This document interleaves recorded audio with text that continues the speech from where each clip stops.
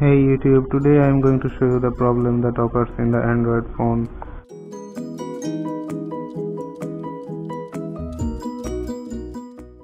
That the sound comes from the earpiece of the phone but not the speaker, it comes from the earpiece from here. Uh, you can listen to this. So uh, let it load. When I press the volume up button it shows that it is in call mode. So I I didn't know what is the problem. Uh, the the media the media volume is also full. But the sound is coming from the earpiece if you can hear.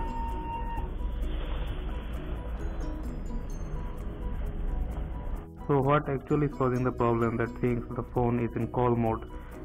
The phone is in call mode instead of the speaker.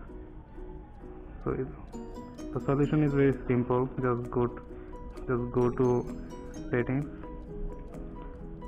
apps. I'm currently using Nexus 5X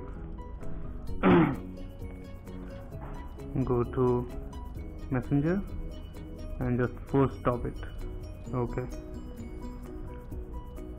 Now go I will go back to YouTube and play the video.